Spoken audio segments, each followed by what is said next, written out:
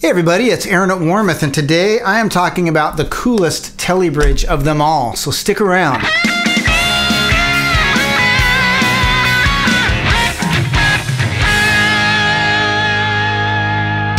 So I will never lie to you, I am not the biggest Tele fan. Um, I'm not really the kind of guy that gets into vintage guitars and vintage specs. Um, Though I will acknowledge the Tele's place in history, of course, and I know that tons of you out there are crazy go nuts over Teles. Uh, so, with all that in mind, today I am talking about what I think is the best Tele bridge of them all. I think it's the perfect marriage between maintaining the cool vintage appeal of it while bringing uh, modern improvements to the bridge. And that is the Gotoh vintage Tele bridge that Warmoth carries. Um, so let me start by opening up the package here.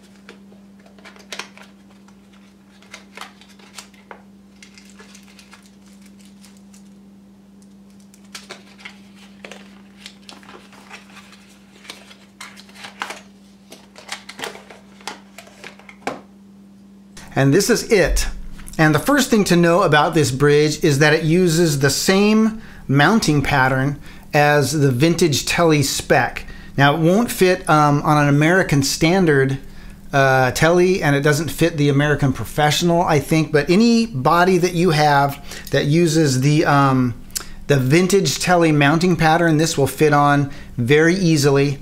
Um, and of course, Warmoth offers that on our Tele replacement bodies. And that is really where the similarity with vintage Tele bridges ends.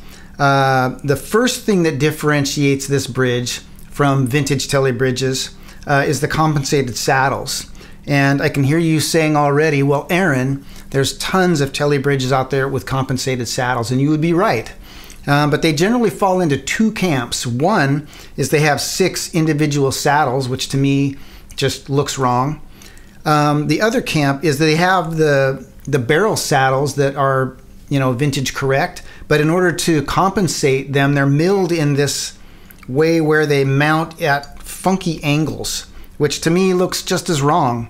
Uh, the cool thing about the Gotoh bridge is that they're milled so that the barrels are straight, just like a vintage Tele, and the um, and the InTune feature or the the tweaks that they've made to make them intonate correctly are just tiny adjustments within the the string channels themselves so just looking at it, you know, casually, you it, you can't even tell that they're there. Um, you know, to anybody just looking at it, it just looks like a vintage Tele bridge. No funky angles, no six saddles. So that's the first thing. The second thing that really differentiates it from the vintage spec are these little um, cutaways or the way the, the sides of the ashtray bridge kind of fall away right there.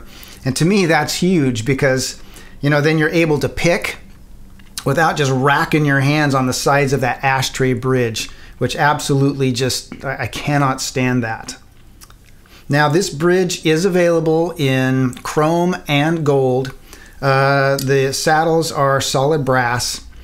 Um, and I, I'm sure that right now you're you're saying, Aaron, stop talking, just play it so I can hear it. And I'm not going to do that in this video. And the reason why is because we're getting ready to shoot a video that you guys have been asking for for a long time.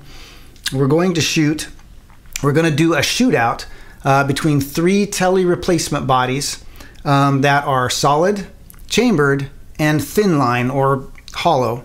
Um, and I will be using this bridge in that video. Uh, we, we hope to have that one out uh, probably about a month from now.